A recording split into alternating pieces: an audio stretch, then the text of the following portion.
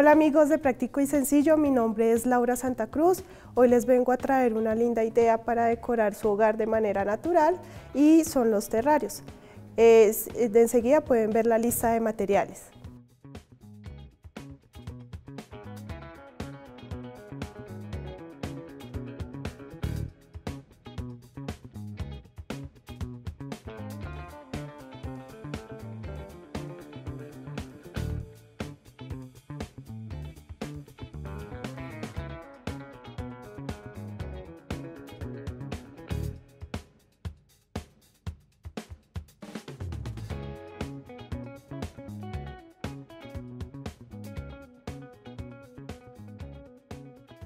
Bueno, eh, primero que todo, para empezar a hacer nuestro terrario tenemos que tener una bombonera.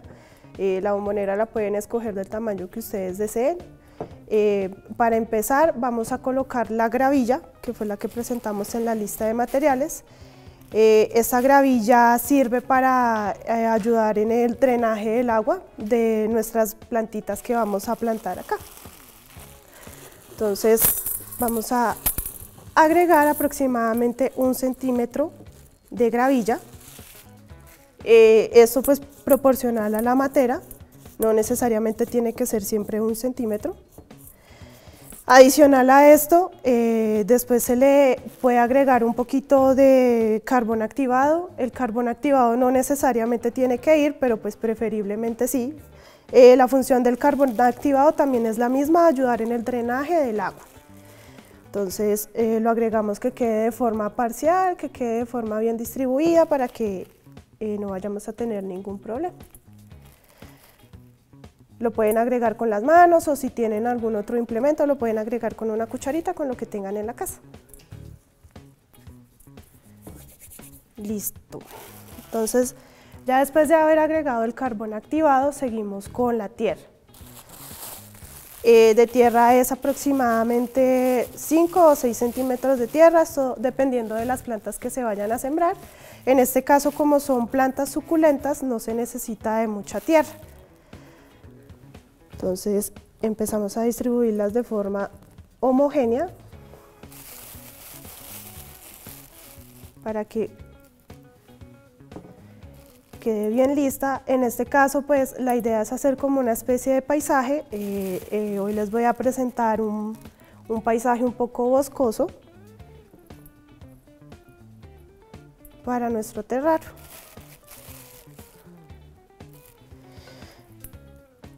Eh,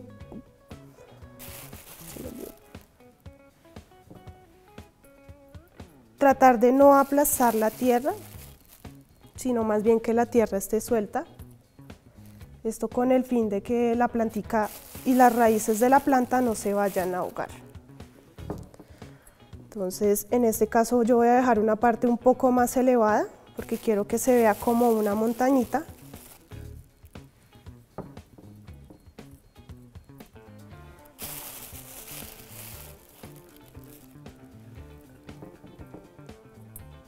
La tierra puede, puede contener eh, cascarilla de arroz, también puede tener eh, las cáscaras de los huevos, que son muy buenas porque les aporta mucho calcio a estas plantitas suculentas.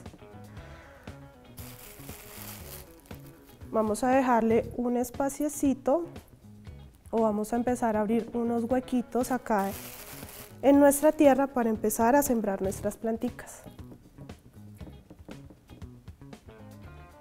Entonces, con el dedito o con algún material que ustedes tengan especial, puede ser también con la misma cuchara, abrimos los huequitos de las plantas que vayamos a sembrar. En este caso yo tengo cinco plantas y conseguí en el mercado esta planta que es muy parecida a un musgo, pero no es un musgo, se llama lágrima de ángel o lagrimitas, le dicen en el mercado común. La pueden conseguir en cualquier vivero o en cualquier plaza de mercado. Entonces, tenemos que tener eh, precaución de que, las, de que las raíces estén limpias para volverlas a sembrar en esta matera, porque si las raíces tienen mucha tierra se pueden ahogar y pueden morirse. Entonces, con mucho cuidado, vamos a empezar a sembrarlas.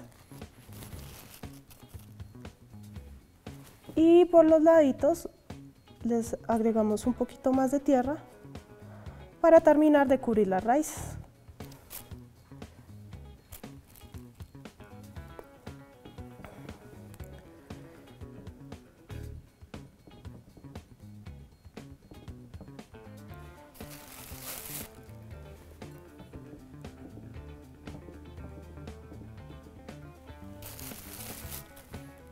Estas plantas son muy fáciles de, mantener en casa, eh, no necesitan de mucha agua, así que son especiales para también para tener en oficinas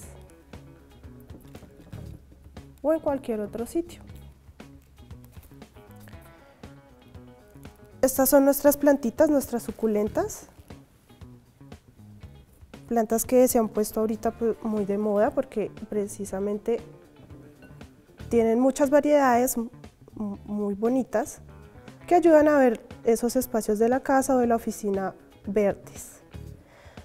Con ellas vamos a tener también mucho cuidado de no ahogarlas, de no ahogar su raíz para que no se vayan a dañar. Abrimos otro huequito acá para poner esta sábila tigre.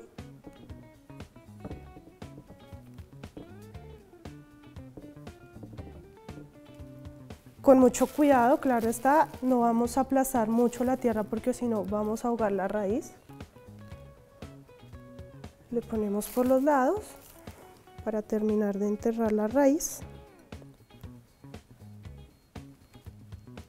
Y corroboramos que ya estén firmes nuestras plantas. Listo. Después de esto, pues vamos a empezar a decorar. Eh, eh, yo traje unas piedras decorativas que también se pueden conseguir en cualquier supermercado. Estas piedritas pues las traje de este color muy neutral porque queremos que sea un paisaje muy natural. Sin embargo, pues las piedritas también vienen de muchos colores.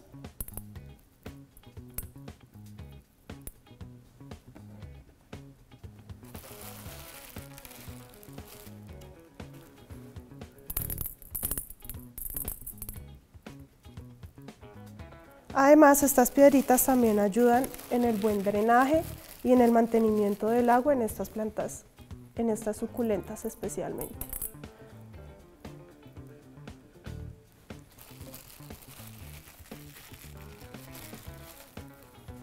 Corroboramos que se tape bien la tierra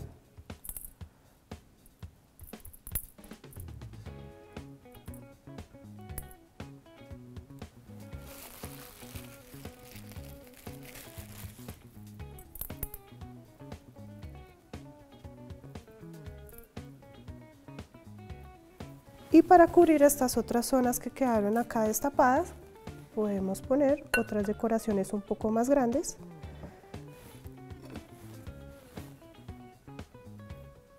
Que son también piedritas de mármol. Que también se pueden conseguir en, los supermercados.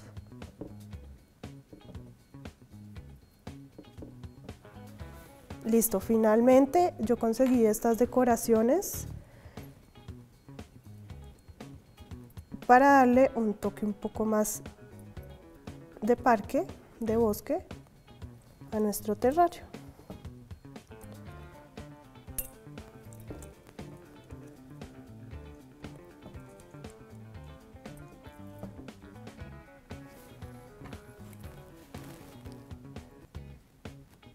Y listo.